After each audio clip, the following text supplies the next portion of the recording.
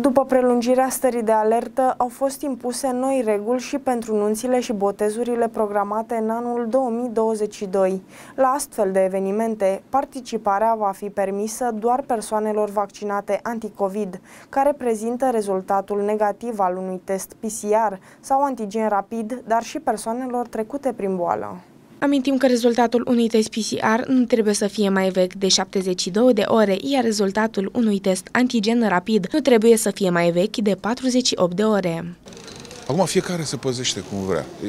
Personal nu sunt pentru a forța oamenii. Pe de altă parte trebuie totuși luate niște măsuri.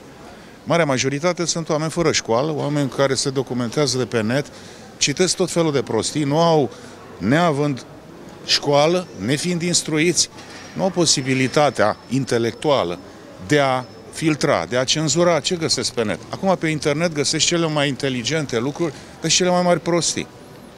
În centrul pământului există reptilieni, povești din astea abundă, cum știți și dumneavoastră. Primiți pe telefon așa ceva.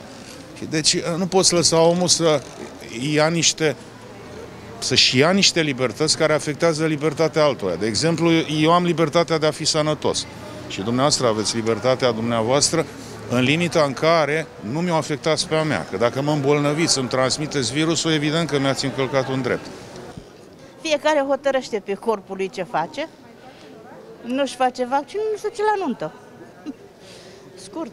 În cazul în care rata de incidență va fi mai mare de 3 la 1000 de locuitori, activitatea restaurantelor și teraselor va fi permisă până la 30% din capacitatea maximă. Nu prea sunt de acord cu așa ceva, nu mă duc, dar nu prea sunt de acord cu așa ceva. Nu o să se mai facă nici, nici botezuri.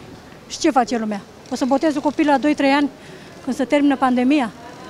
Nu, nu sunt de acord cu așa ceva. Totodată, organizarea și desfășurarea activității în cadrul cinematografelor, instituțiilor de spectacole sau concertelor în spații închise sau deschise va fi permisă în intervalul orar 5-22, cu participarea publicului până la 50% din capacitatea maximă a spațiului și cu purtarea măștii de protecție în județele sau localitățile în care rata de incidență acumulată la 14 zile este mai mică sau egală cu 1 la 1000 de locuitori.